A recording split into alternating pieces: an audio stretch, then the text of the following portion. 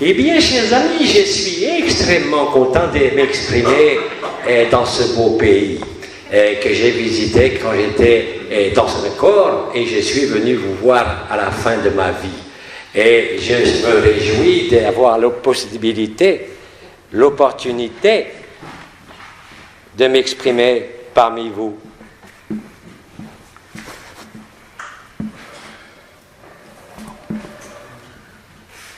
Ah, je crois que le channel m'a arrêté parce qu'il y a un problème de son. Exactement. J'ai dérègle l'appareil. Tu fais forte impression.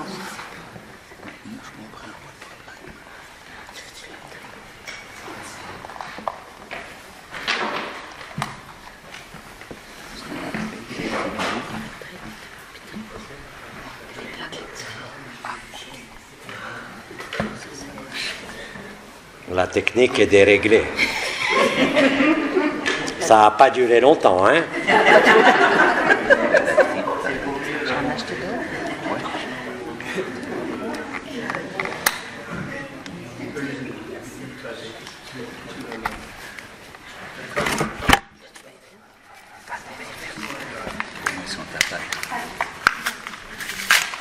C'est parfait, ça nous permet d'être en silence quelques minutes.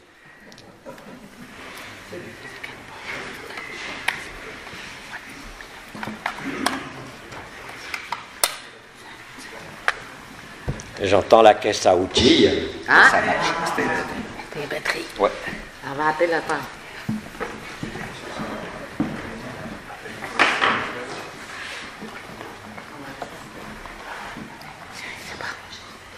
Alors, comme à mon habitude, si vous préférez, on va commencer, et pour commencer cette rencontre, cet entretien, à écouter vos questions. Alors, cher ami, si tu veux bien commencer par la première question. Oui.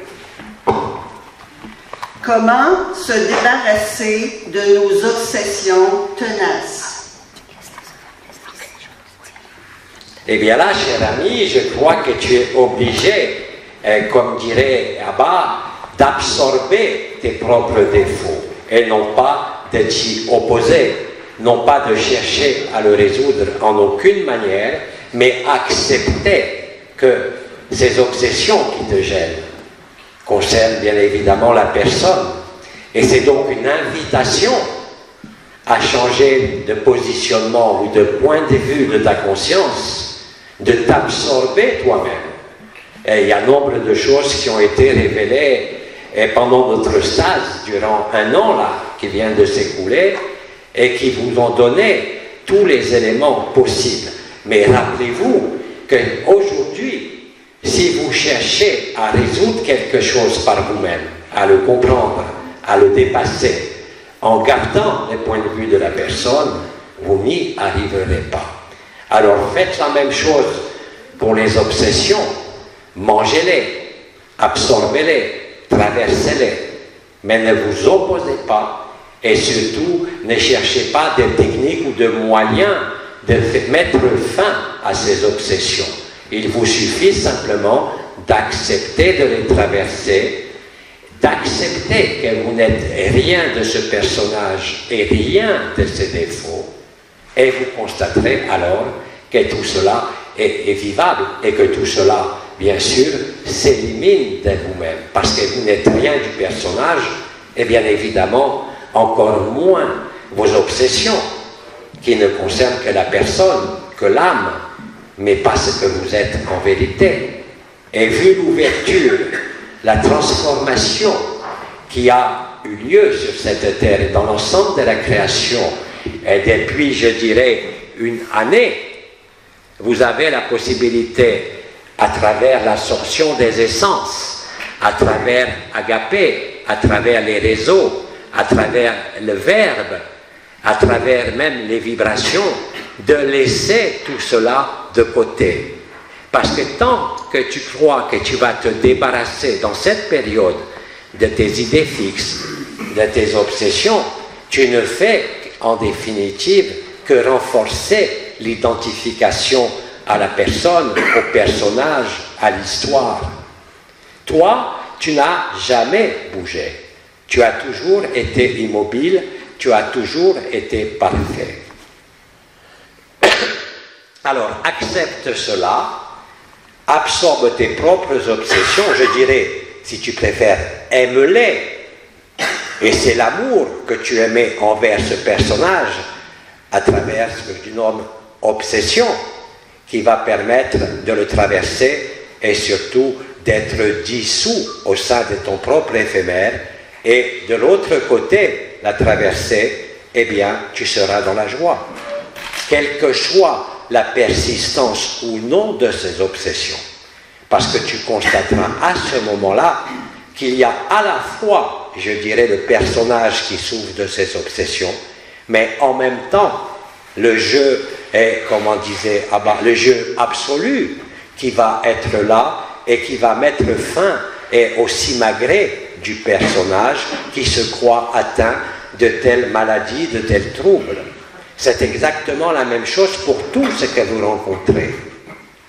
Ce que vous a expliqué et Abba et aussi Bidi il y a peu de temps, et ce que vous avez eu voilà peu de temps concernant le je suis toi, est vraiment la clé ultime, celle qui vous permet concrètement de tout traverser et de tout vivre dans la légèreté et dans la joie quelle que soit la maladie, quelle que soit l'affection, quelle que soit la peine, vous n'êtes rien de tout cela. Alors bien sûr, et mon discours là, il peut vous sembler nouveau par rapport à ce que je disais effectivement euh, d'une notion de progression, euh, d'évolution, qui ne concerne que la personne. Or, comme vous êtes de plus en plus nombreux à découvrir que toute la création est un rêve, tout comme nous, bien sûr. Eh bien, l'évidence, c'est d'accepter que tout cela ne vous concerne pas, mais concerne la personne, celle qui croit être ce corps, cette vie, cette histoire, ces problèmes. Si vous acceptez ce point de vue, bien évidemment, les points de vue de votre conscience changera tout naturellement et vous amènera, si je peux m'exprimer ainsi, à la frontière de la conscience. Et tout se fait tout seul aujourd'hui, sans vous. Tant que vous croyez par vous-même, par rapport à l'esprit, par rapport à la vérité, y arriver, vous ne pouvez pas y arriver. Il faut pour cela, quels que soient les mots qui ont été employés par d'autres intervenants, il vous faut disparaître à vous-même non pas comme euh, euh, quelque chose que vous devez régner, mais que vous devez intégrer, absorber, dépasser et aimer. Si vous le faites, alors à ce moment-là, vous découvrirez ce qu'est la joie nue et vous le vivrez, quel que soit l'état antérieur d'il y a quelques minutes ou quelques jours avant. La solution aujourd'hui est radicale, elle est définitive. Elle met fin à l'illusion d'être une personne, d'être affectée de tels problèmes ou de telles souffrances, mais surtout, elle vous fait découvrir la vérité qui a toujours été là. Écoutez vos frères et vos sœurs incarnés et par leurs témoignages, tout ce qu'ils ont vécu, tout ce qu'ils vivent. Ils ne sont pas plus en avance que vous. Ils ne sont pas plus élevés quelque part que vous. Simplement, ils l'ont compris et vécu un petit peu avant les autres. Rien de plus et rien de moins. Tout ce à quoi vous allez vous opposer aujourd'hui, de quelque nature que ce soit, ne pourra de manière quasi immédiate que se renforcer. C'est-à-dire là où vous mettez votre attention, votre conscience, votre intérêt, si vous voulez, vous allez constater que non seulement ça se renforce et que ça vous perturbe de plus en plus. Parce que l'intelligence de la lumière qui est présente, que vous êtes, se charge de tout. Alors adressez-vous à l'intelligence de la lumière que vous êtes depuis votre personnage. Simplement en vous reconnaissant en tant qu'intelligence de la lumière, même si vous ne le vivez pas. Il n'est pas question de demander à la lumière ou de demander à l'intelligence de la lumière de vous débarrasser, dans ce cas précis, eh, d'obsession. Parce qu'à ce moment-là, c'est encore la personne qui veut être débarrassée de quelque chose. Mais je vous rappelle qu'avant tout, c'est de votre idée d'être une personne qui doit s'évanouir et disparaître. Et là, vous vivrez bien sûr la joie nue, cet amour indicible qui a été nommé par Abba et celui qui me canalise est agapé. C'est pas des mots comme ça en l'air. C'est pas pour faire joli, c'est pas du décor. C'est la stricte vérité. Mais les simples faits d'imposer cette question, je ne la réfute pas, d'ailleurs j'y réponds avec plaisir, montrent simplement qu'est celui qui pose cette question. Et bien évidemment, dans son personnage, et croit être vrai. Et se pose fort logiquement la question d'être débarrassé d'un trouble, quel qu'il soit, ou d'une maladie, ou d'un problème. Mais ça ne fonctionne plus comme ça aujourd'hui. Là aussi, il faut rompre, je dirais, ces espèces d'habitudes de l'action-réaction. Il faut être disponible totalement pour vivre cette joie qui ne dépend pas de vous, mais que vous êtes pourtant.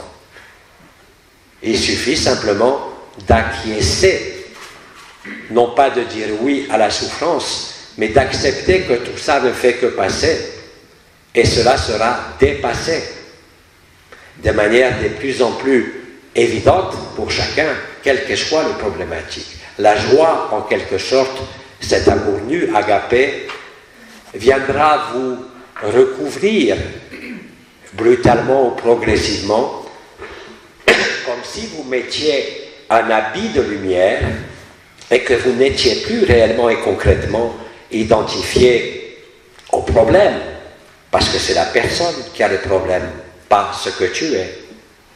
On peut continuer, sans ça je vais répondre trop longtemps aussi sur les questions. Deuxième question, elle est semblable à la première, mais c'est comment accepter un défaut, un vice, une obsession qui reviennent sans cesse. Alors c'est la même chose à peu près. Et on peut élargir même à ce que vous pourriez nommer les entités, les possessions, toutes les choses que vous, si vous êtes sensible, que vous sentez et qui semblent vous gêner quelque part. Acceptez que vous êtes la totalité de la création et que vous êtes antérieur à cette totalité. Absorbé, et comment tu as dit, des vices, pas des obsessions, il y avait un autre mot.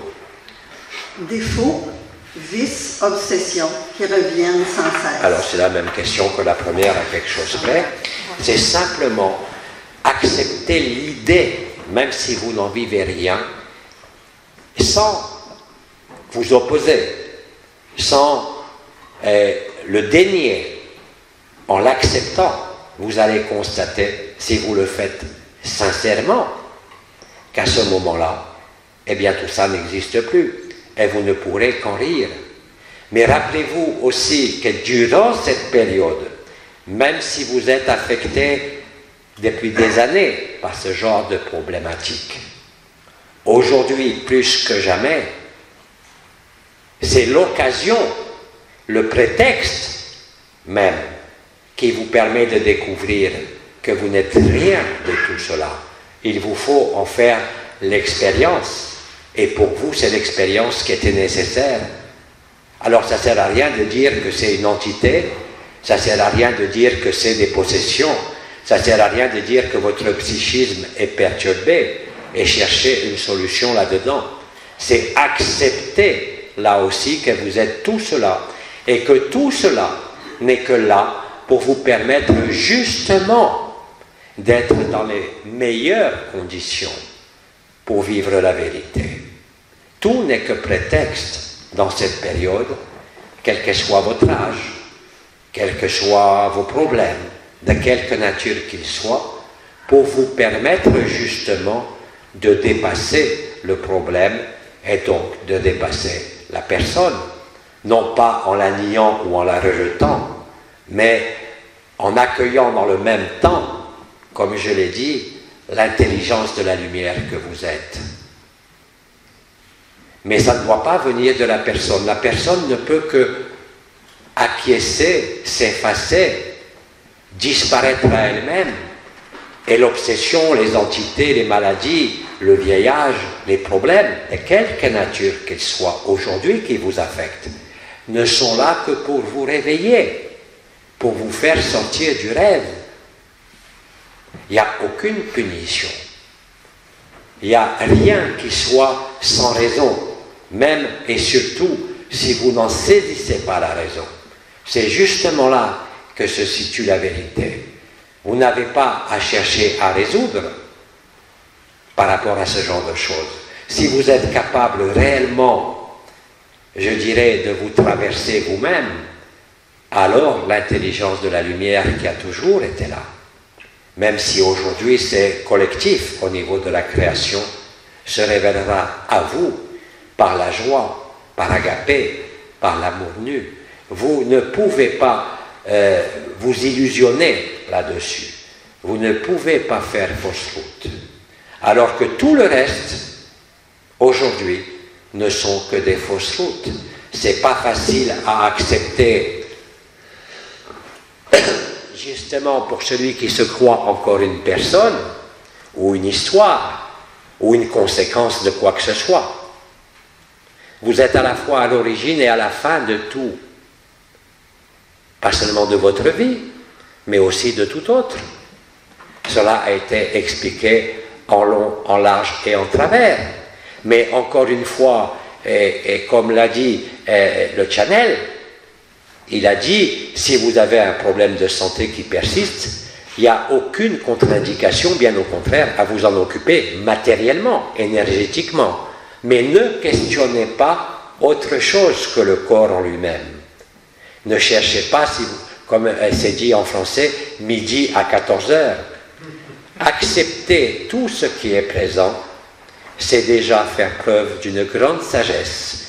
C'est déjà être tranquille.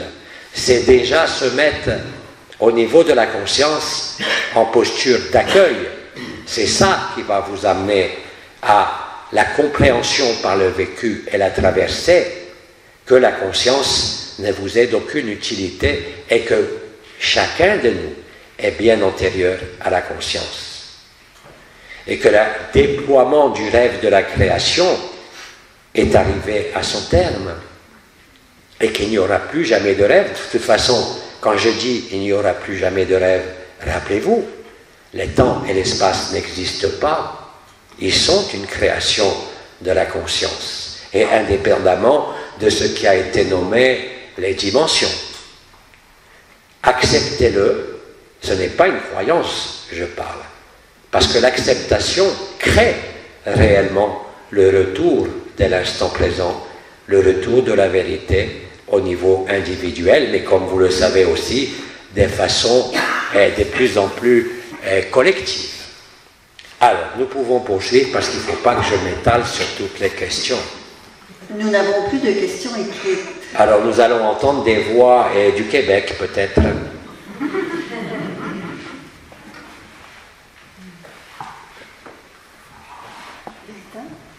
Et je vous rassure, il n'y a aucune question qui n'ait pas une utilité. Tout est utile.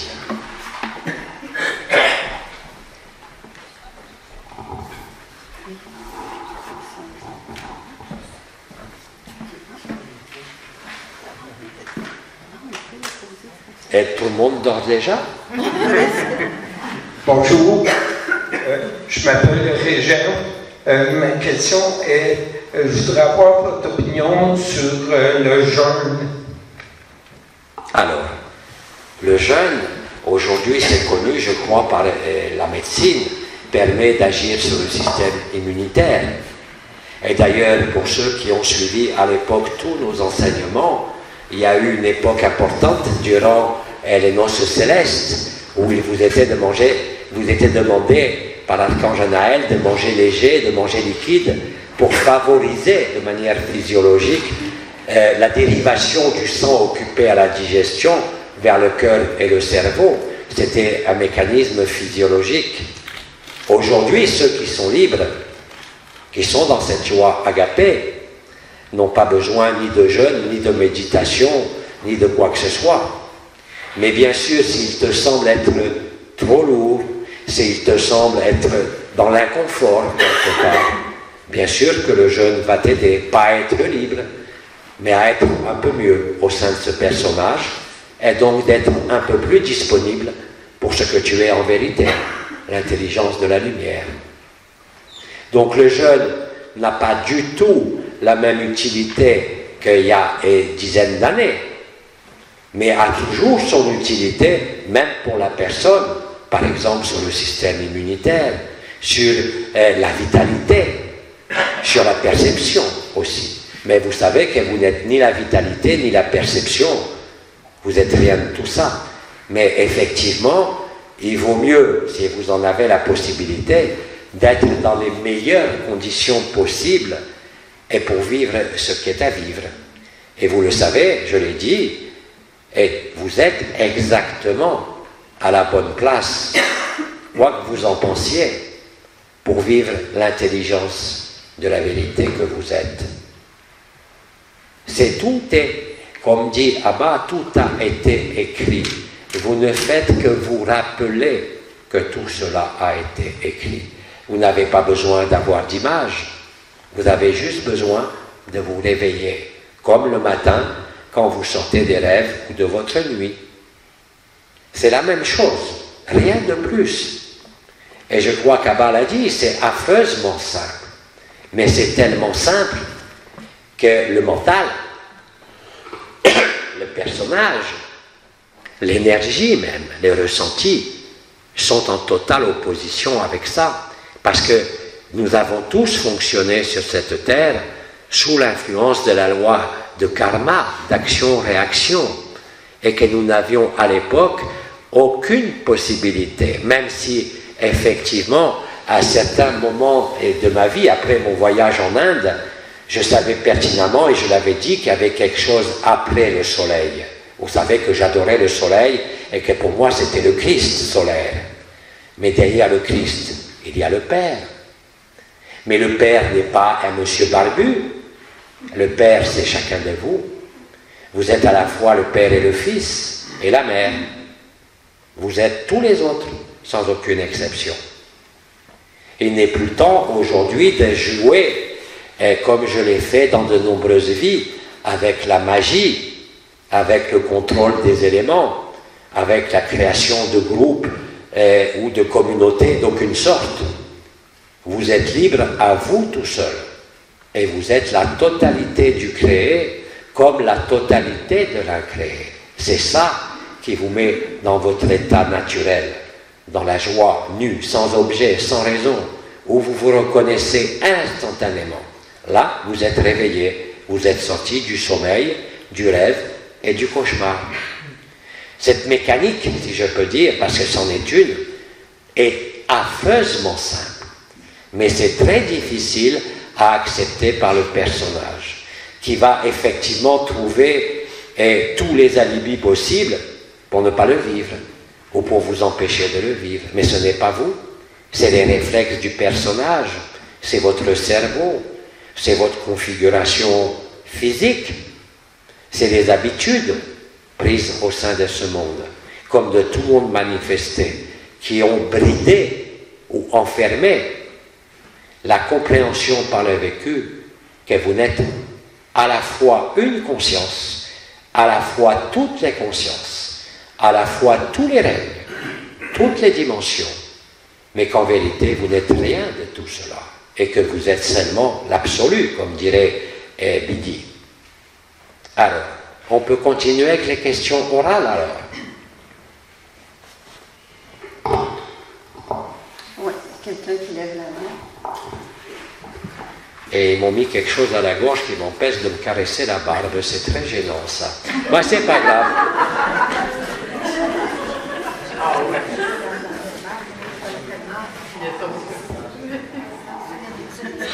Et les Québécois sont presque autant endormis que les Français, apparemment. Bonjour. Ah, bonjour. Je vais raconter un vécu que j'ai eu, il y a deux ans. Il parle en quoi, lui?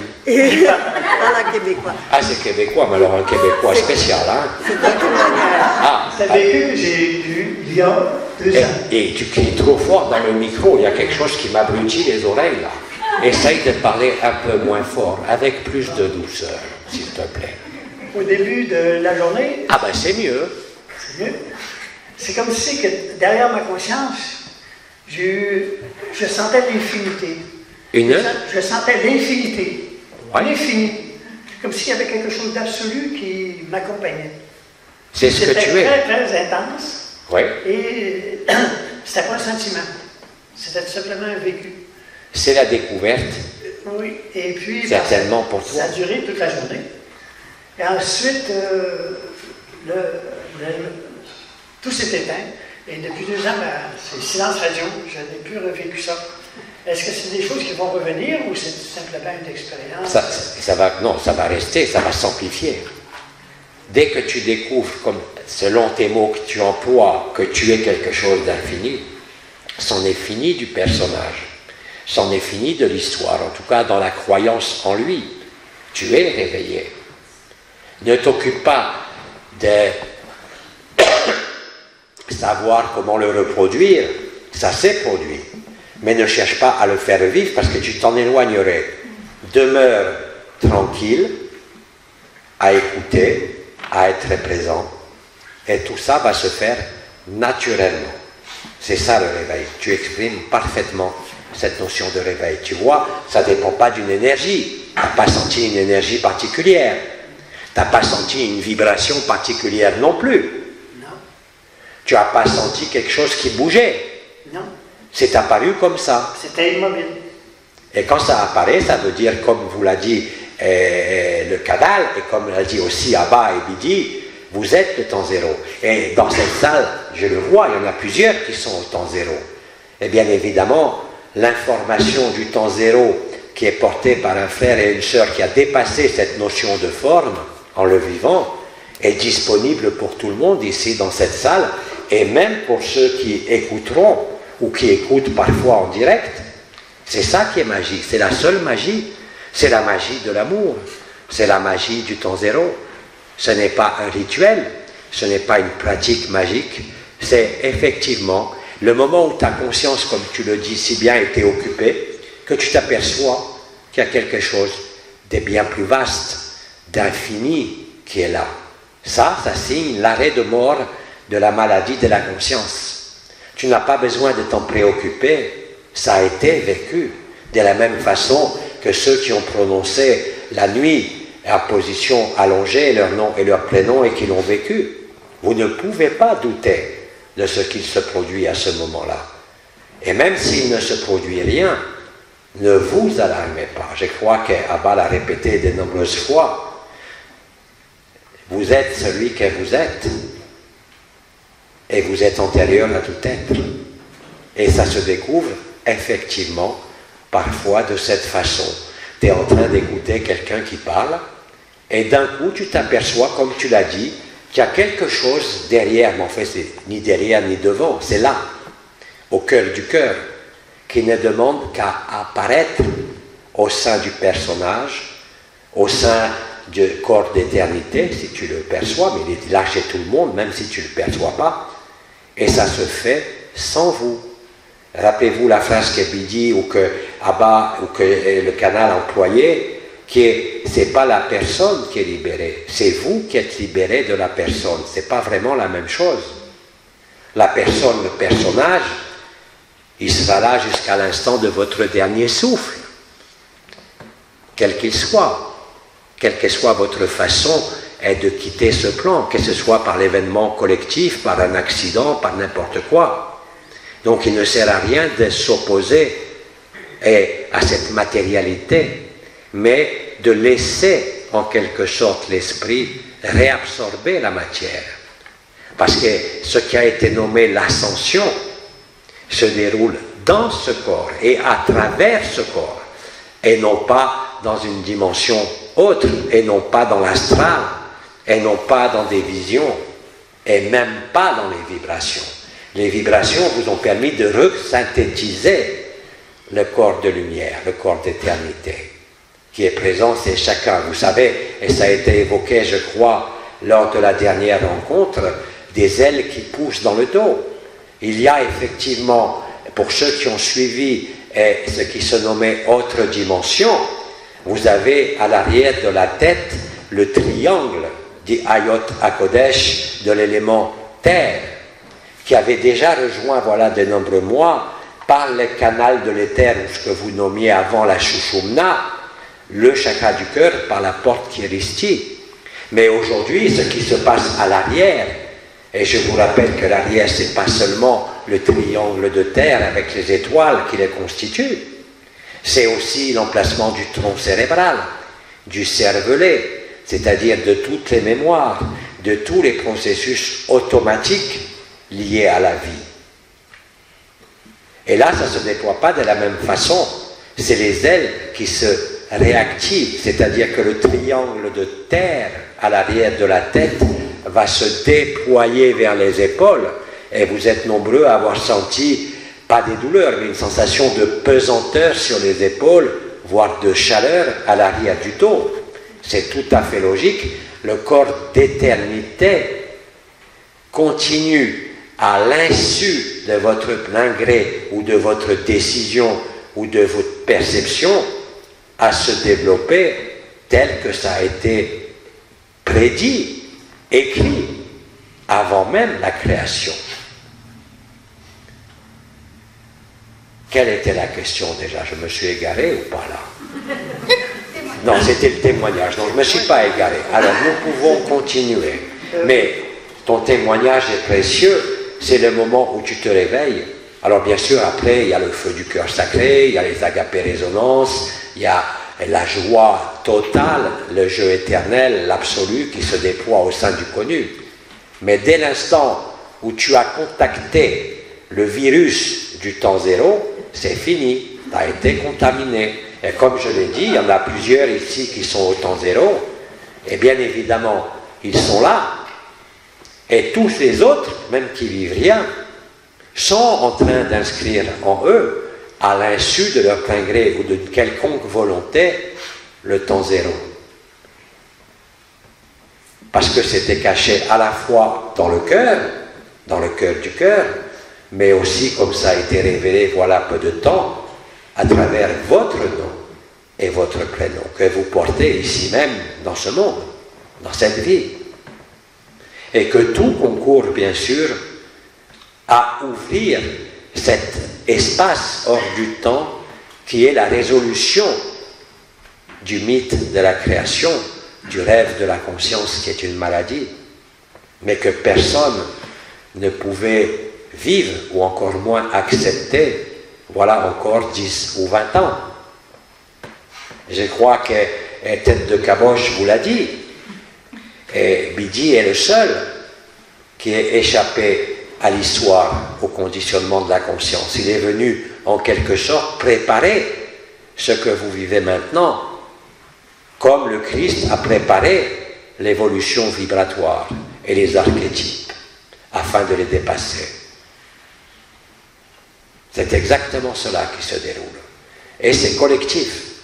D'ailleurs, je crois que Tête de Caboche vous l'a dit, dès l'instant où vous êtes rentré dans cette salle, c'est fini, vous êtes cuit.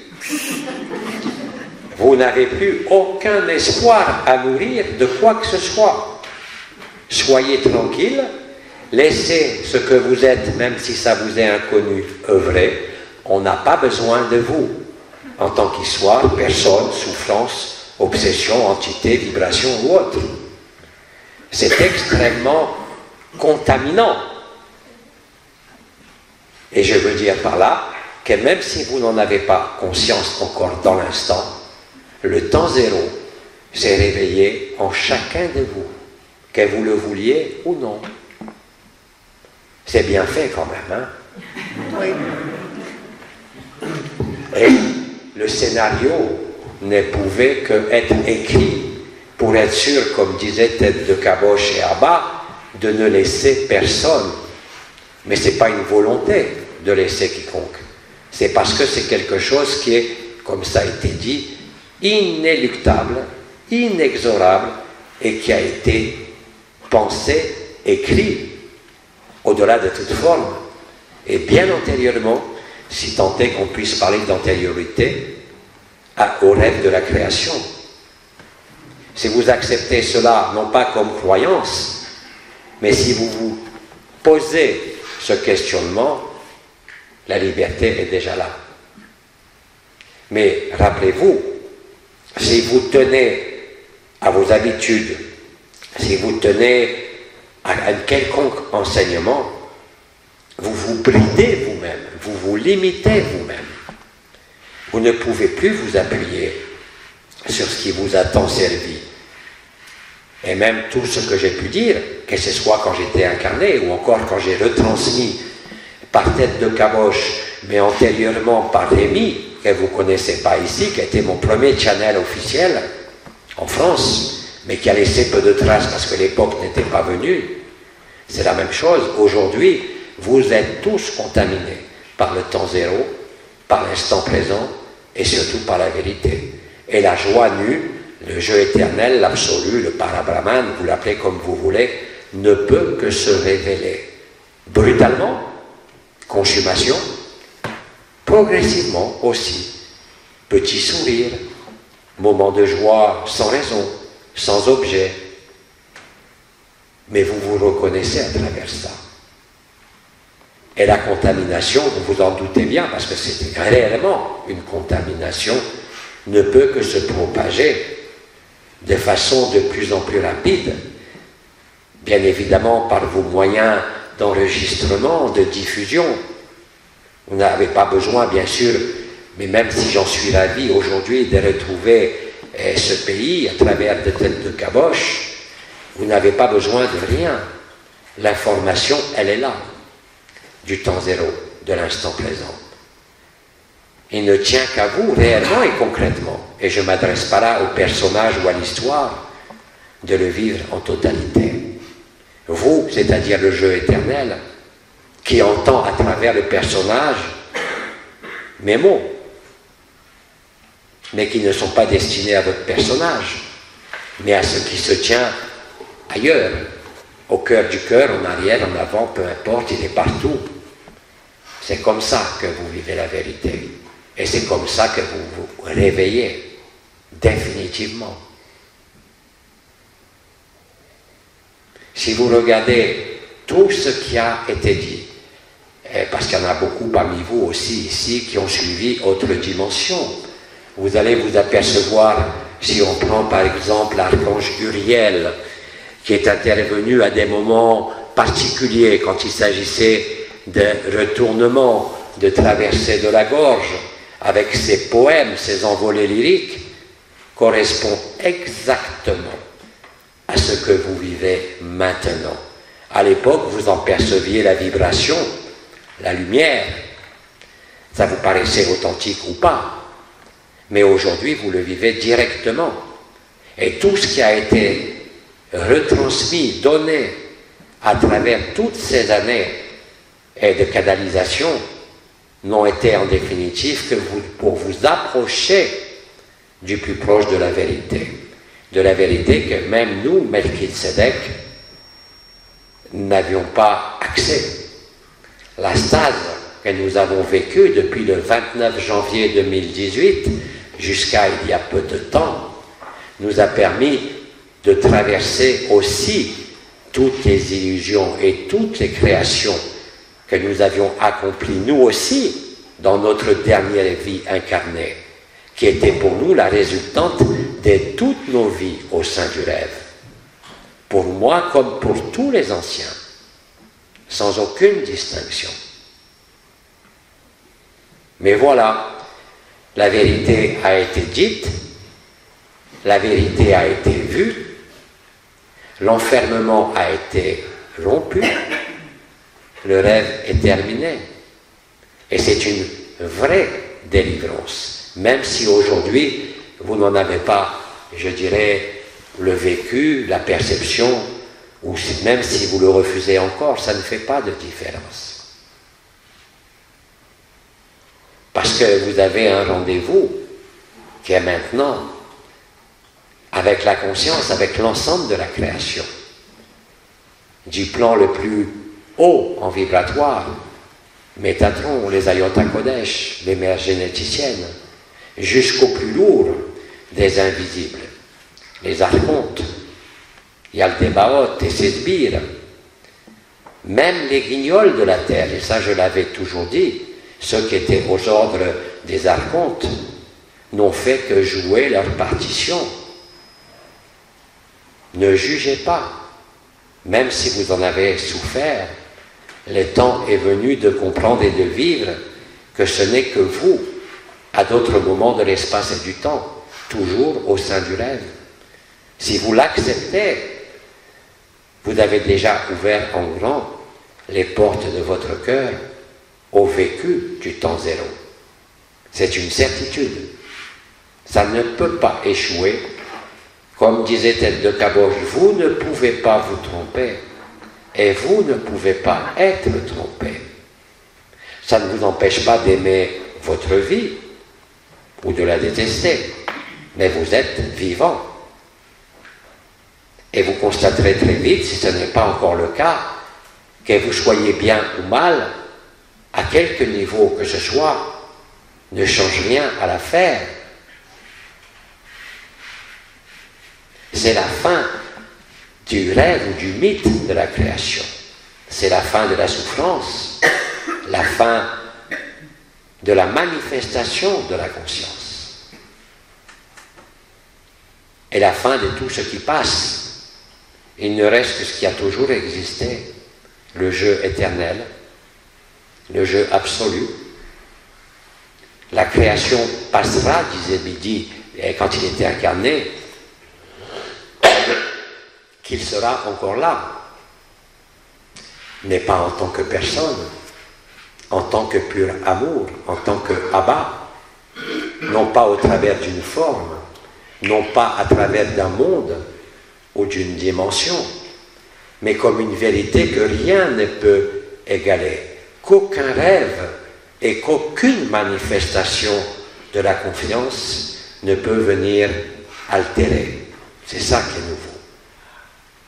Allez, on continue. Pourriez-vous nous parler, Ah là là, pourriez-vous nous parler du cœur du cœur, de la manière dont c'est vécu dans le quotidien? En tant qu'expérience? quel est le mot Le cœur du cœur, Du karma. du cœur, le cœur du J'ai cœur. pas compris le mot. Le cœur du cœur. Le cœur du cœur, mais ça a été évoqué pendant des dizaines de canalisations. Le cœur du cœur est illustré physiquement par le centre du chakra du cœur, pas le neuvième corps, ni le huitième, mais le point central du petit chakra du cœur, même pas des couronnes ascensionnelles. Et vous avez eu, et je crois, Abba vous en a parlé longuement, de la résonance du cœur, de la résonance agapé réseau, de euh, cette pulsation à trois temps au niveau du cœur, mais aussi du torse, c'est-à-dire du double torse, le champ électromagnétique unifié qui s'est déployé depuis ce point central et qui tourne dans un sens à gauche et dans l'autre sens en venant de Kiristi à l'arrière pour rejoindre le cœur du cœur, alors que l'autre va vers l'arrière, l'autre va vers l'avant, et que c'est cette alchimie qui crée le temps zéro. Pour vous, pour le système solaire, pour toutes les dimensions et pour toute la création. Le cœur du cœur n'est rien d'autre que le point zéro. C'est le point des jonctions entre le personnage, l'être et le non-être. C'est le lieu où se réalise l'alchimie de ce qui avait été nommé à l'époque la nouvelle Eucharistie, la nouvelle triunité, en sachant qu'il n'y aura même plus besoin d'unité, puisqu'il n'y a jamais eu personne. Le cœur du cœur n'est rien d'autre que de revenir, quels que soient les vécus antérieurs des chakras, de l'ouverture des portes et des étoiles, de l'onde de vie, canal marial et toutes ces structures, et même la perception claire et consciente des ailes, des appendices du corps d'éternité. Par exemple, si vous êtes euh, d'origine stellaire euh, euh, d'Altaïr, vous allez sentir un bec, réellement et concrètement. Mais ne vous occupez pas de ça aujourd'hui. Bien évidemment, pendant des années, nous vous avons focalisé sur ces portes et ces étoiles pour intégrer le processus, pour le vivre. Mais nous n'avons jamais dit que c'était la finalité. C'était simplement une espèce d'interface de ressenti et de vécu qui devait vous amener au plus proche de la vérité, c'est-à-dire le cœur du cœur. Le cœur du cœur est un point réel. C'est le centre précis du chakra du cœur. C'est aussi un point d'acupuncture, mais comptez pas sur moi pour vous donner le numéro. C'est aussi ce qui relie le chakra du cœur, le neuvième corps, sur l'angle de Louis au niveau du haut du manubrium sternal, et Kiristi dans le dos, qui avait été expliqué il y a très nombreuses années par Sri Aurobindo. C'est des points de repère, tout ça.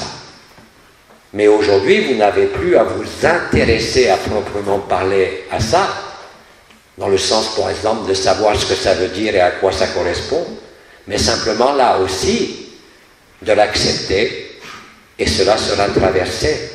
Il n'y aura plus d'interférence, il n'y aura plus de ressenti, même si c'est toujours là, et vous découvrirez que vous n'êtes pas la conscience. Alors ça peut se faire encore une fois par l'embrasement et de tout le corps, l'embrasement seulement du feu du cœur, l'embrasement des périphéries, des mains et des pieds. Chacun y va à sa manière, si je peux dire. Mais la résultante est toujours la même. L'actualisation, la manifestation ici même dans le rêve de la vérité. Et c'est cette vérité qui met fin au fait de vous croire un individu, parfait ou imparfait, tributaire des circonstances de la société, de votre corps, de votre physiologie, de vos relations, d'un quelconque karma. Le cœur du cœur, c'est là où a toujours été inscrite la vérité. D'ailleurs, les sages à l'époque, vous savez, il y a une légende qui dit les dieux se sont réunis entre eux et s'est posé la question de où est-ce qu'ils allaient cacher la divinité de l'homme. Bon, c'est un roman, hein, c'est pas vrai, mais ça correspond bien à ça. Et on dit, les dieux ont dit, mettons-le dans le cœur. C'est le seul endroit où ils penseront jamais à chercher, ou en tout cas à se retrouver.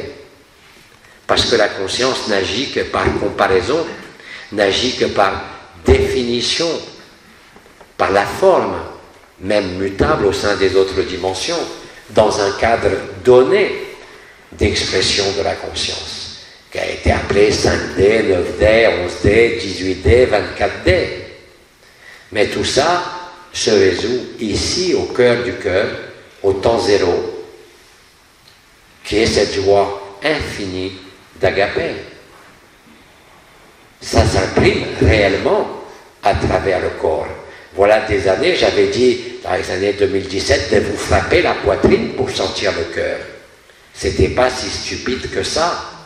Vous avez vécu aussi l'apprentissage, pour certains, de ce qui avait été nommé la réponse du cœur, dans des choix à, à faire, même pour le choix d'un aliment.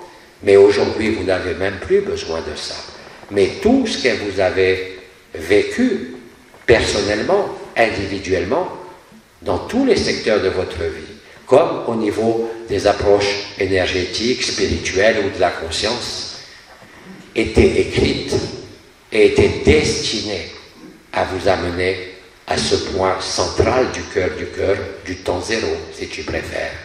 C'est là où doit se situer euh, ce que j'ai appelé avec tête de caboche aussi l'acceptation, accueillir, traverser, ne rien refuser.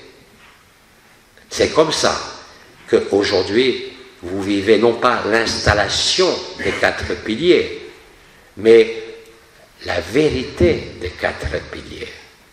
C'est comme ça que vous vous apercevez, en le vivant, que vous n'êtes pas ce personnage, encore moins ce dont il est affecté, mais que vous n'êtes rien du créé, que vous êtes antérieur au créé.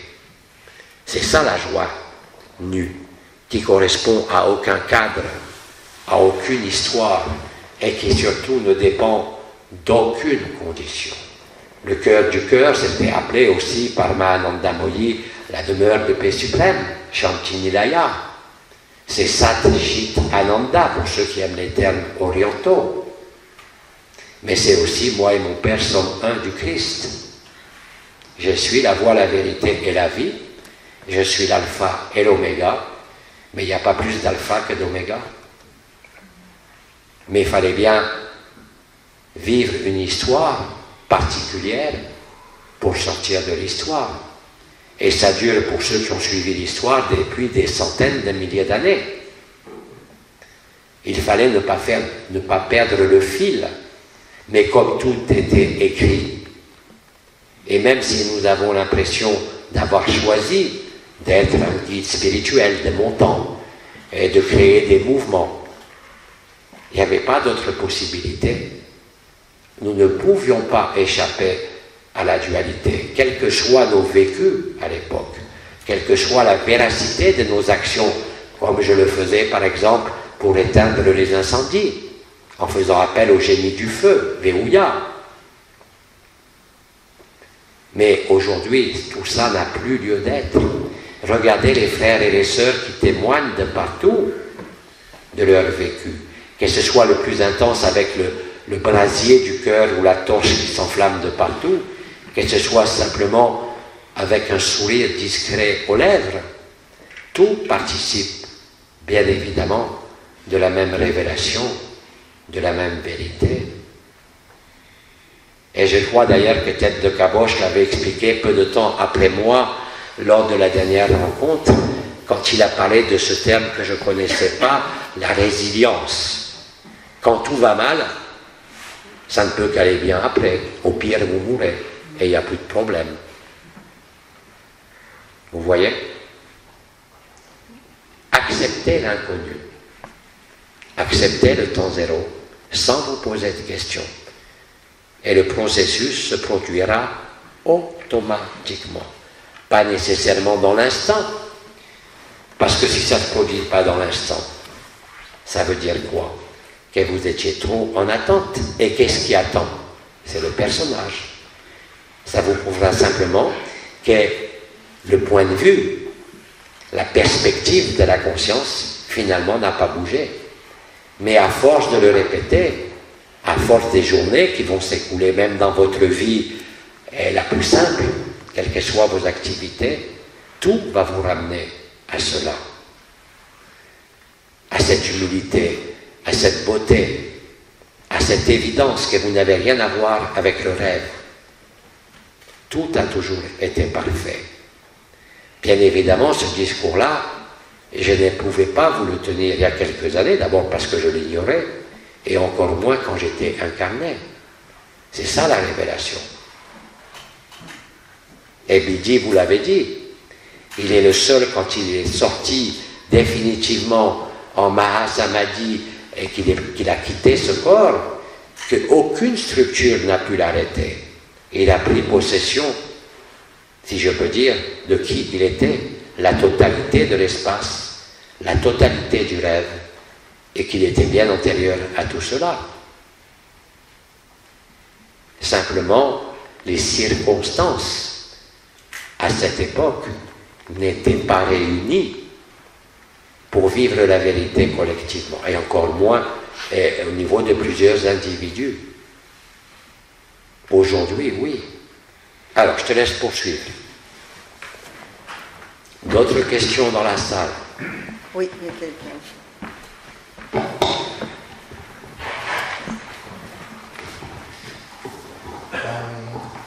Pourquoi n'y a-t-il pas que l'absolu, le jeu éternel, la vérité? Ça résonne dans les micros ou dans la, je sais pas quoi là qui fait du bruit. Et déplace-toi un tout petit peu. Voilà. Pourquoi n'y a-t-il pas que la vérité, le jeu éternel, l'absolu Alors tu vas À répéter. quoi, à qui euh, servent euh, le rêve, euh, les dimensions, la vie des hommes? Je suis pas sûr d'avoir compris. Pourquoi quoi? Pourquoi, pourquoi sert n'a pas-il seulement l'absolu, la vérité? Pourquoi on vit ce rêve? Parce que le rêve est un rêve. Il ne fait que passer. Pourquoi existe-t-il?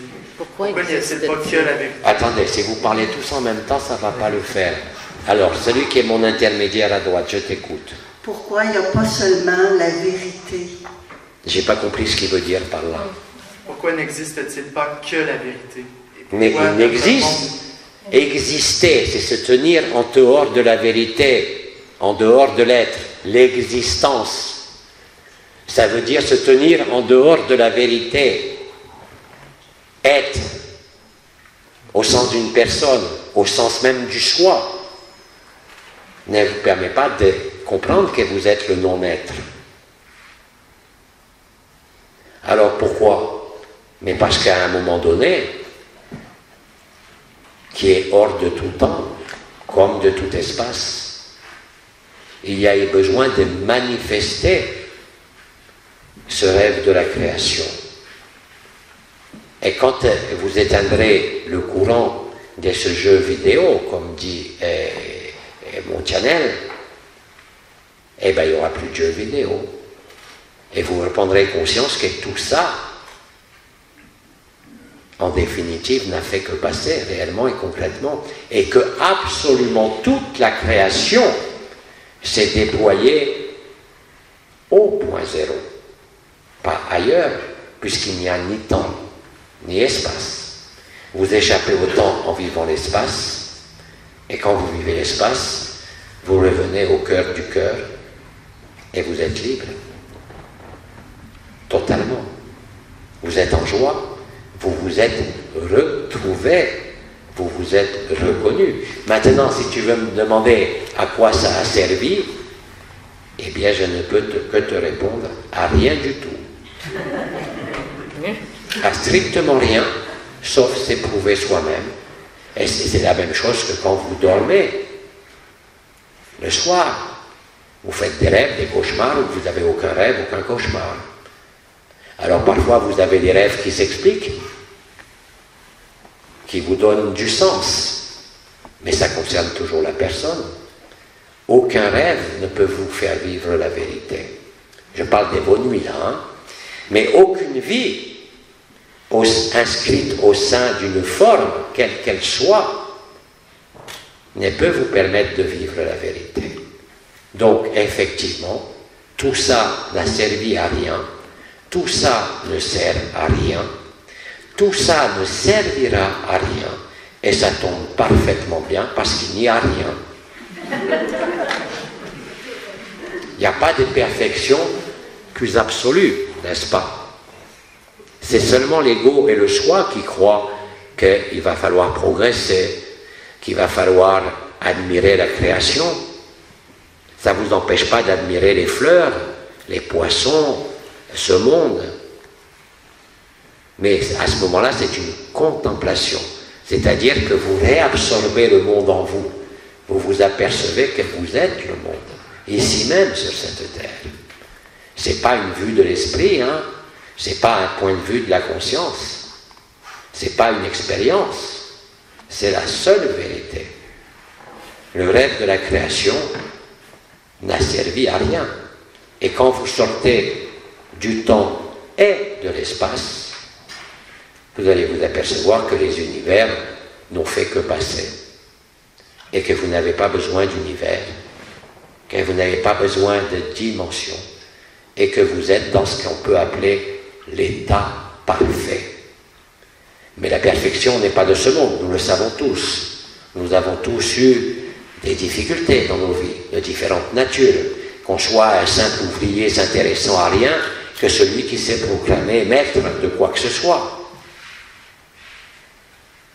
Qui peut dire, quelle que soit sa vie, même la plus heureuse, que ça n'a été qu'une succession de moments heureux, qu'une succession de bonheur Non, le bonheur, c'est la béatitude, c'est la finalisation de la résurrection. Ce bonheur-là, cette joie-là, n'est peut-être comparé à rien. Et ça met fin de manière définitive à ce qui n'a fait que passer. Tout ça n'était qu'un mauvais rêve ou un beau rêve, mais ce n'est pas la vérité. La seule vérité porte pour nom amour. Et cet amour n'a pas besoin de forme, il n'a pas besoin de monde, et vous êtes réellement, nous sommes réellement un, nous sommes l'amour, mais il n'y a personne. Ça a permis quelque part de nous éprouver. Mais le rêve devait être écrit avant d'être vécu. Il devait se déployer au temps zéro pour être sûr qu'il s'achève, puisque c'est quelque chose qui ne peut que s'achever. Ce n'est pas infini la création.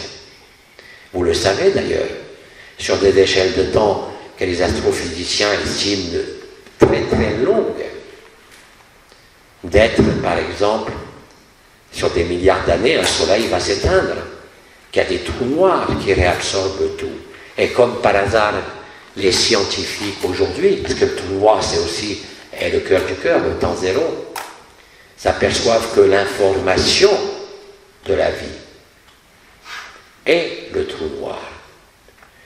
On a observé la lisière des trous noirs. Et chaque cellule vivante ici, sur ce corps carboné, que ce soit un végétal, un animal, un humain, porte ce temps zéro. Ça ne pouvait pas être autrement. Tout est dans tout. Et en plus, il n'y a rien. Il n'y a rien d'antinomique. Il n'y a rien de contradictoire, sauf pour l'ego, sauf pour le choix. Mais pour celui qui vit la vérité, c'est une évidence. Ça ne peut pas être autrement.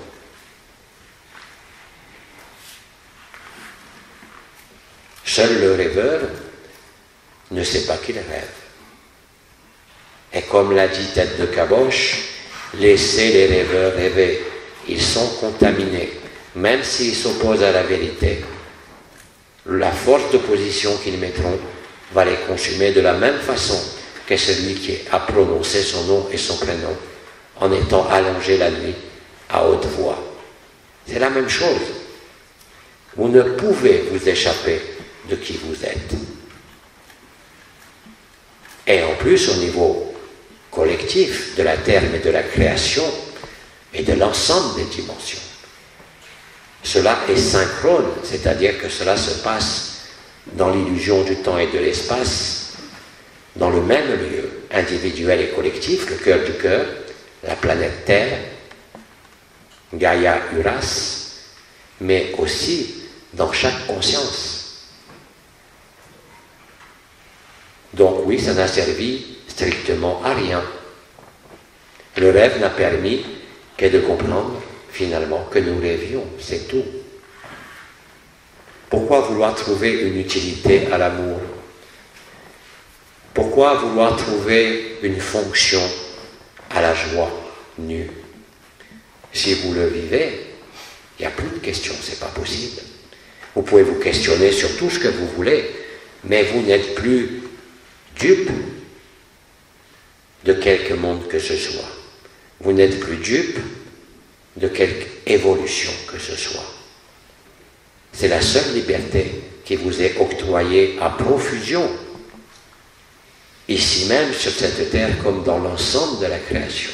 Et cela se déroule au cœur du cœur, au temps zéro, au trou noir de votre poitrine comme au trou noir de chaque cellule. Nous pouvons continuer.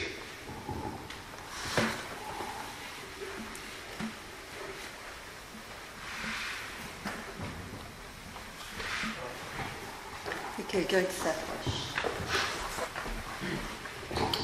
Bonjour Omar. Moi j'ai une petite curiosité. Pourquoi est-ce que tu appelles Jean-Luc tête de caboche? Ah, je crois que Tête de Caboche a eu plusieurs surnoms. Eh, tête de Caboche parce qu'il a la tête dure. Il va, il va encore me traiter après de vieux crouton raciste, c'est pas grave. Tête de Caboche, mais il fallait avoir la tête dure pour encaisser tout ce qui s'est passé. Ensuite, je l'ai nommé incassable. C'était la vérité. Et maintenant, il s'est nommé lui-même. C'est Abba. Mais comme il a dit, n'y voyez pas ici eh, quelqu'un de supérieur ou qui a une fonction, un rôle ou quelque chose de particulier. Il est la vérité, au même titre que chacun de vous l'est. Chacun de vous, il vous l'a dit, est Abba. Mais tête de caboche, parce que c'est comme tous les béliers, ils ont la tête dure. hein. Ils sont têtus. Mais quand ils ont une idée en tête, ils la lâchent pas. Et ce qu'il avait en tête, tête de caboche, c'était la vérité. Uniquement la vérité. Où est la vérité? Toute la dynamique est née de là. Alors bien sûr, je ne sais pas si eh, Tête de Caboche l'a fait ou pas, et ça n'a aucune importance. Il a bien évidemment au sein de l'histoire, comme chacun d'ailleurs, mais dans l'histoire individuelle, avant de prendre conscience qu'il était le tout, un cheminement au sein de l'illusion particulier, jusqu'au moment où il s'est aperçu que tous les chemins sont le même chemin et qu'il n'y a pas de différence entre un Elohim qui est venu apporter à Yerushalayim un cristal particulier et l'enfant qui meurt de faim. Tout ça n'est qu'un rêve. Mais il n'y avait aucun moyen de le résoudre, si je peux dire, c'est-à-dire de se réveiller à cette époque. Alors tête de caboche, oui, parce que la tête dure, c'était une de ses caractéristiques. Est-ce que je peux faire une parenthèse? Comment? Est-ce que je peux te faire une je- Il parenthèse? faut répéter à côté de moi, parce que je n'entends pas les voix extérieures, même au micro. Elle demande si elle peut faire une parenthèse. Ah ben, fais toutes les parenthèses que tu veux. Dans cette recherche de vérité, ça veut dire qu'on est beaucoup à être des têtes de caboche. Tu les répètes. Dans cette recherche, Merci de répéter. Et J'entends vraiment de manière distincte la personne qui est à ma droite, pour des raisons vibratoires. Et il y a un champ d'énergie particulier qui est déployé entre moi et mes deux acolytes, qui fait que pour certaines personnes, même la voix très loin, ça passe, et pour d'autres, ça ne représente rien. C'est pas un problème de compréhension ou de facilité, hein, ça n'a rien à voir. Mais je te prie de répéter. C'est que dans cette recherche de vérité, qu'est-ce que dans cette recherche, qu'est-ce que- dans cette recherche de vérité, dans cette recherche de vérité, on est beaucoup à avoir des têtes de caboche. nous sommes beaucoup à avoir la tête de caboche. Oui, je vois, vous avez tous un certain âge ici. J'en ai que je... Il y en a que je reconnais ici, hein, qui m'ont rencontré eh, dans mon vivant. Alors, on ne va pas jouer aux retrouvailles parce que tout ça, c'est de l'histoire. Mais eh, qu'est-ce que tu veux dire par là? La tête de caboche, qu'est-ce qu'elle a? Si nous sommes, nous aussi, Non, dis-lui que euh, comme Jean-Luc est appelé tête de caboche, parce que cette recherche de vérité, il restait toujours axé dessus, là. Vas-y, Oui. de ce tableau. étant donné que tu as nommé Jean-Luc tête de caboche Dans sa recherche. dans de sa vérité, recherche de vérité, C'est que nous, on est plusieurs dans cette recherche de vérité-là. C'est que nous, nous sommes plusieurs dans cette recherche de vérité-là. Et on est des têtes de caboche, nous aussi, parce qu'on laisse pas, le- on n'arrête pas. Et nous sommes aussi des têtes de caboche. Mais je vais aller plus loin. Même les mères généticiennes étaient des sacrées têtes de caboche. Et surtout elles, l'aspect créatif du féminin sacré. Qui c'est qui a créé le rêve? Qui- La première émanation, la source, Métatron, les Ayot Kodesh. Et juste après, les mères généticiennes.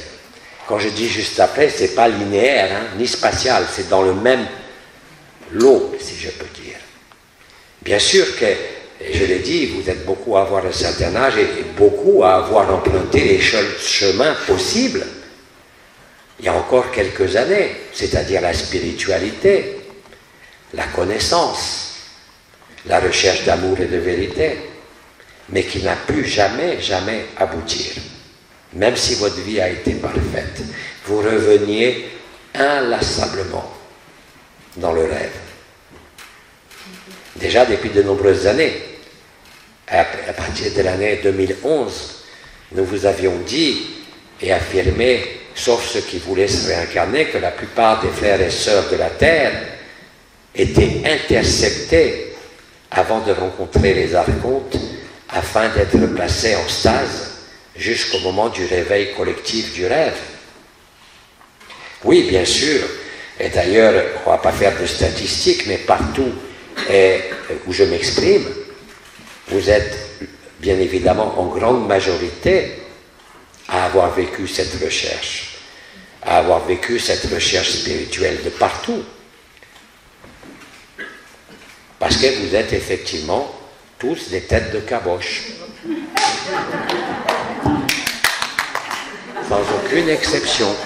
Aujourd'hui, celui qui a l'innocence de l'enfant s'ouvre beaucoup plus facilement que tous ceux qui ont parcouru les sentiers de la spiritualité, de l'énergie, de la perception, de la vibration.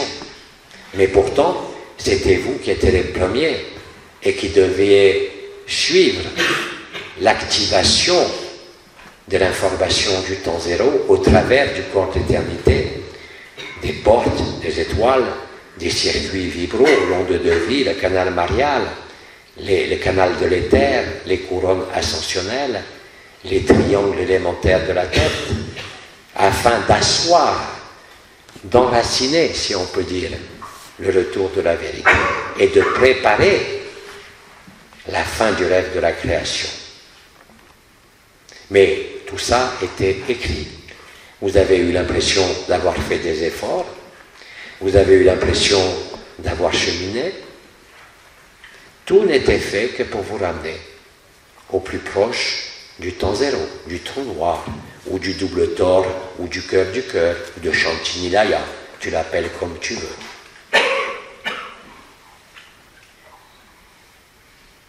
La seule preuve, et ça a été répété depuis un an sans arrêt, la seule preuve de la vérité, c'est le vécu. Quand vous vivez le sourire, la joie ou l'embrasement, tout est balayé, même s'il reste encore des choses à résoudre chaque jour pour chacun. Vous voyez? Mais c'est fini. Quand je dis c'est fini, ça veut dire que vous portez l'information du temps zéro. Elle est activée en vous. Vous êtes la clé, vous êtes la cellule, vous êtes la porte.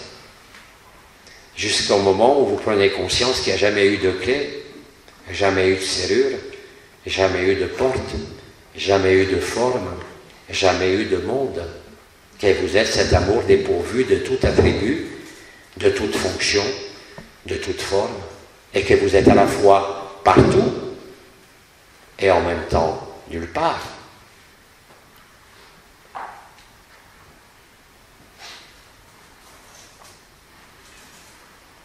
quelle que soit la façon dont j'essaye de l'expliquer, quelle que soit la façon dont vous en témoignez, c'est toujours la même chose. Ça n'a qu'une seule finalité et le résultat est toujours le même. Et après, qu'est-ce qui se passe? Abba vous l'a dit, Bidi vous l'a dit, vous retournez à votre humanité la plus simple. Mais au sein de cette humanité la plus simple, tout est transmuté, tout est transfiguré. Et vous avez lavé vos robes dans le sang de l'agneau, comme ça avait été écrit par Saint Jean. Le jugement dernier n'est que votre installation sur le trône, entouré des mille dieux, entouré des quatre anges des éléments, entouré des milliers d'archanges, entouré de milliers de mondes. Ce n'est que vous. Et rien n'est distant. Et rien n'est séparé en vérité, malgré toutes les apparences de formes, des pensées, de concepts ou de monde.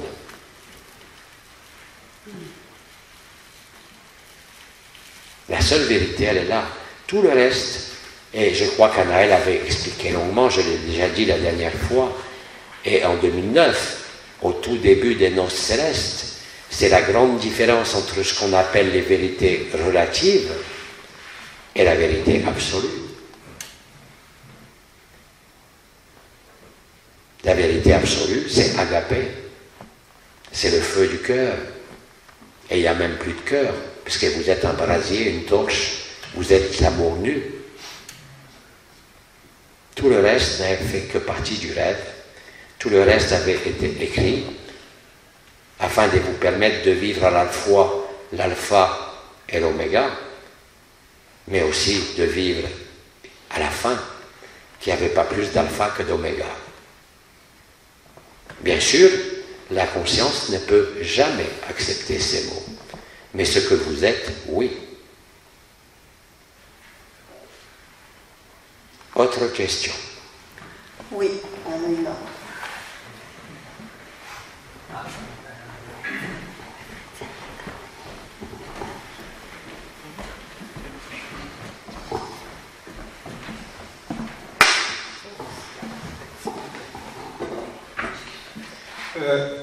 c'est Régent.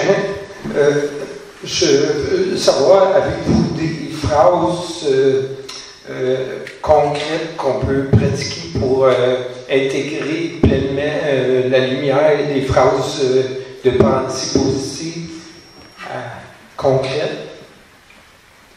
Avez-vous des phrases qu'on peut dire Des phrases qu'on peut dire pourquoi Ben, des phrases qu'on se répète en soi, des pensées positives. Des mantras. des pensées positives? Comment? Des pensées positives. Ou des phrases positives. Mais la pensée appartient à la pensée. La pensée ne fera jamais sortir du rêve, quelles que soient tes pensées positives ou négatives. C'est encore une amélioration de la personne, mais ce n'est pas la vérité. Et bien sûr, il est beaucoup plus facile d'être positif que d'être négatif dans les pensées. Mais ça ne te fera jamais sortir de la personne. Quel est ton objectif à travers la pensée positive? Le bonheur, Le bonheur. Mais le bonheur est éphémère. La joie n'a rien à voir avec le bonheur. Le bonheur dépend effectivement de tes pensées, de tes affects, de la façon dont tu vis. Mais est-ce que tu es là pour ça seulement? Que recherches-tu le bonheur? Alors tu n'es pas prêt pour la vérité encore.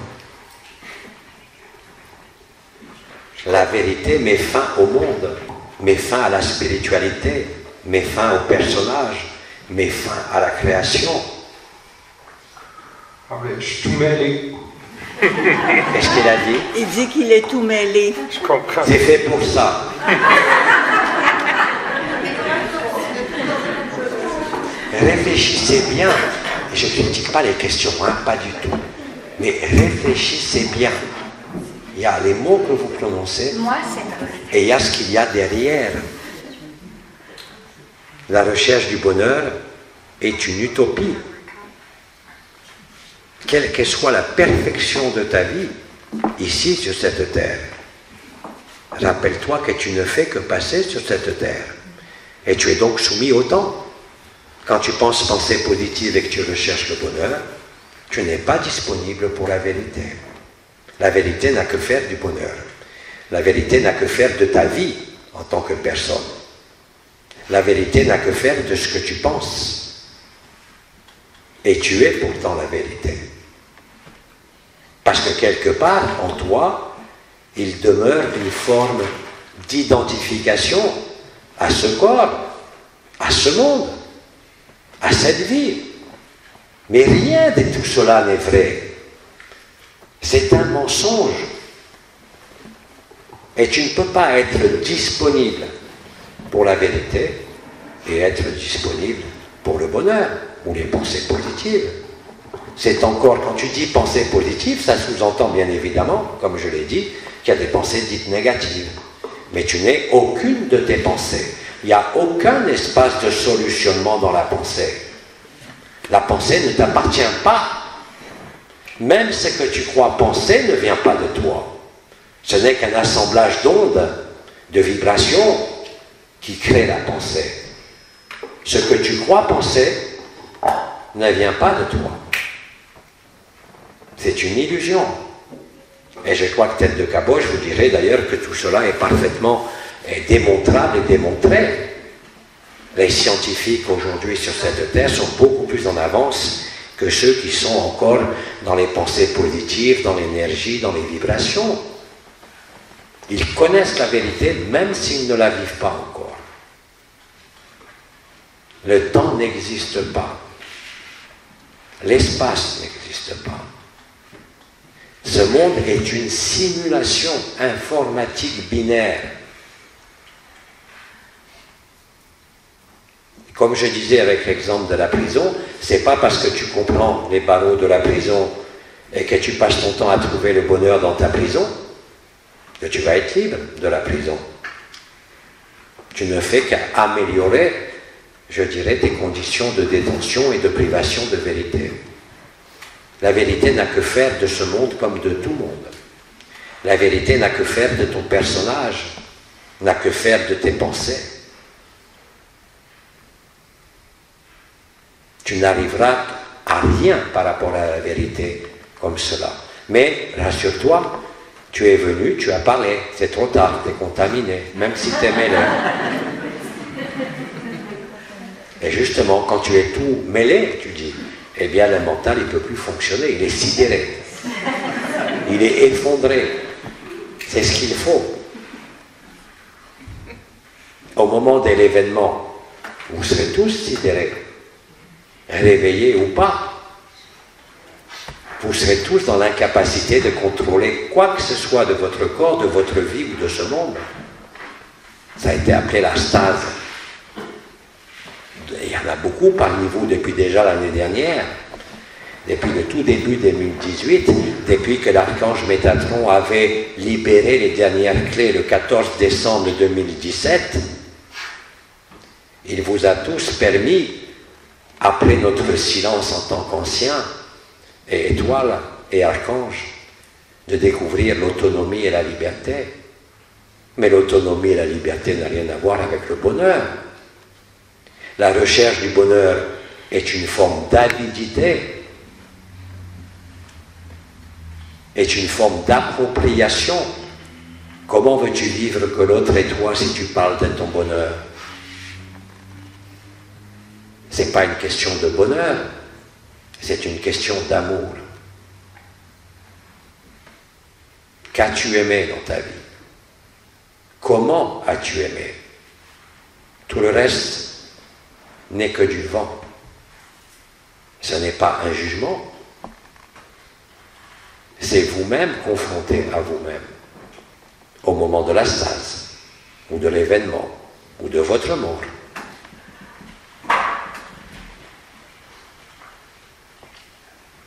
demande à des frères et sœurs qui, eux, ont dépassé ce stade d'être tout mêlés et qui vivent le sourire ou qui vivent la vérité, cette joie nue, cet agapé, ce feu du cœur sacré. Demandez-leur ce qu'ils vivent. Est-ce qu'ils recherchent le bonheur? Est-ce qu'ils pratiquent la pensée positive, la méditation ou même encore aujourd'hui des alignements? Non. La liberté, elle est même par rapport à cela. Parce que c'est le personnage, même si ça a été indispensable depuis plus de 30 ans, de monter le niveau de la conscience. Aujourd'hui, ça ne sert plus à rien. Vraiment. Mais je ne peux pas vous le démontrer. La meilleure démonstration, c'est toi-même quand tu le vis. Tout le reste ne sont que du cinéma, dans le sens comédie. C'est du vent. Croire que vous allez vivre le bonheur et l'amour en pratiquant quoi que ce soit vous éloigne de la vérité aujourd'hui. Et vous ne pourrez que le constater. Et vous ne pourrez que le vivre. Quoi que vous en pensiez encore aujourd'hui, vous ne pouvez pas vous échapper de la liberté. Si tu veux, c'est comme s'il y avait un personnage qui est en prison, qui connaît que la prison, il est né en prison, il n'imagine même pas qu'il y a un monde dehors et qu'il y a autre chose, si ce n'est ce que lui donne à voir sa fenêtre, si ce n'est peut-être les aliments qu'on lui apporte. Et il n'y a aucune joie là-dedans. surtout aucune vérité. La vérité, quand elle est vécue, ne serait-ce qu'un instant, eh bien, elle va te donner cette joie intérieure et tu te reconnais. Il n'y a aucune technique, même si je sais que Tête de Caboche a mis au point quelque chose qui permet de libérer la tête d'elle-même, mais c'est vraiment l'arrêt du moteur de la souffrance, c'est-à-dire l'arrêt de la recherche, aujourd'hui plus que jamais, qui vous fait vivre la vérité. Parce que dès l'instant, je ne vais pas revenir sur tous les dires de Bidi, mais dès l'instant où si aujourd'hui vous cherchez encore quelque chose par rapport au bonheur, par rapport à la vérité, vous ne pouvez pas chercher ce que vous êtes, vous ne pouvez que vous le trouver, soyez logique. Il n'y a rien de plus logique. Et celui qui le vit, celui qui l'a vécu, ne peut plus être dupe de son propre personnage, ne peut pas être dupe de ce monde comme de n'importe quel monde. Il est présent à lui-même, présent à la vérité, il est amour, mais sans définition, sans particularisme, sans avoir besoin de justifier quoi que ce soit ou de démontrer quoi que ce soit. Il est dans l'état naturel. Et dans l'état naturel, il n'y a aucune recherche qui puisse tenir, aucune pensée positive ou négative qui puisse tenir, aucune vibration, même si elles sont là, qui puisse tenir. Vous traversez tout ça. Et vous êtes juste derrière ou devant. Et tout ça se rapproche de plus en plus. Je crois qu'Étienne de Caboche avait appelé ça la fusion du simulacre et du sacré. Même les jeux vidéo qui est joué, où les méchants garçons, comme je les appelais, ont l'impression de tout mettre en œuvre pour éviter la vérité d'éclore, ne font que servir la vérité. Ils ne le savent pas simplement. Pas encore. Et que celui qui vous a enfermé, les méchants garçons, les guignols, comme je l'ai nommé il y a quelques années, ce n'est rien d'autre que vous-même, que ce n'est rien d'autre que chacun de nous. Vous n'avez aucun moyen de vous le représenter. Vous n'avez aucun moyen autre que celui de le vivre. Mais tant que vous cherchez à comprendre, à vous en saisir ou à l'expliquer, vous éloignez le vécu. C'est une certitude pour chacun. C'est l'unique vérité. Alors à ce moment-là, quelle est allez me dire, mais comment faire? Eh bien, soyez comme Thérèse, la voix de l'enfance, la voix de l'innocence. Soyez pleinement présent à vous-même. Soyez pleinement présent à tout autre. Soyez pleinement présent à tout regard que vous portez, que ce soit un insecte, que ce soit un arbre, que ce soit un frère ou une sœur, ou n'importe quoi, une étoile. Il y a la même constance pour ceux qui le vivent. Ils ne trichent pas. Ils ne peuvent pas tricher. Contrairement à celui qui se nourrit de visions, de scénarios, de vibrations, d'énergie ou d'évolution.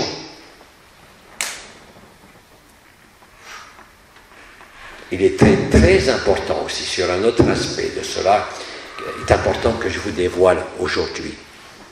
C'est que tous les frères et sœurs qui ont participé à un moment donné, ou tout le temps à AD, autre dimension, par les processus vibratoires, par tout ce que vous avez reçu, il était impératif que ça, soit, soyez, que ça ait été vous les premiers à le vivre, parce que vous étiez les plus dangereux vivant la supraconscience qui allait risquer de vous opposer à la vérité. Et effectivement, les premiers seront les derniers, les derniers seront les premiers, même si vous savez qu'il n'y a jamais eu ni premier ni dernier, puisqu'il n'y a personne. Mais dans l'histoire du rêve, c'est une évidence. Il fallait que tous ceux qui étaient a priori en avance par leur culture spirituelle, par leur recherche, par l'ouverture à la perception énergétique et vibratoire, soit en quelque sorte canalisé, dirigé, entouré pour permettre l'installation du temps zéro, pas pour eux, mais pour l'ensemble de la création. Mais il fallait que ses frères et ses sœurs les vivent en premier, parce que c'est eux les plus dangereux par rapport à la vérité. La conscience n'acceptera jamais la vérité. La conscience est une maladie. Donc tu te doutes bien que quand je dis ça à une personne, ben, comme tu dis dans ton expression là, québécoise, tout mêlé. J'aime beaucoup cette expression. Mais quand tout est mêlé, tu ne peux plus rien distinguer. Donc tout est un. Passer le premier instant de confusion ou d'être mêlé. Le fait d'être mêlé ne va pas t'emmêler, mais va te démêler.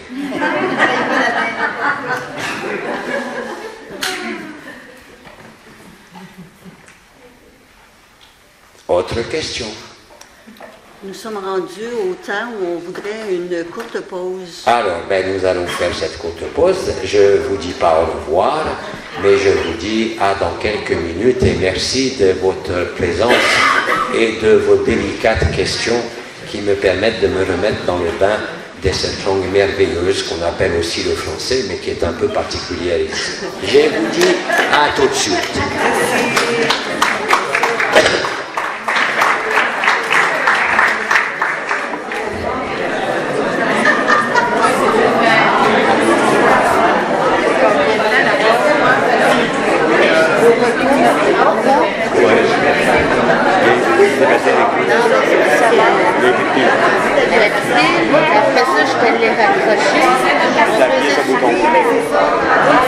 ce que vous ah, ben euh, il est 15 h on s'accorde effectivement un petit moment de pause. Soyez de retour en silence dans la salle à 15h30 au plus tard pour qu'on ait une heure et demie encore avant la fin avec Pépère. D'accord? Merci.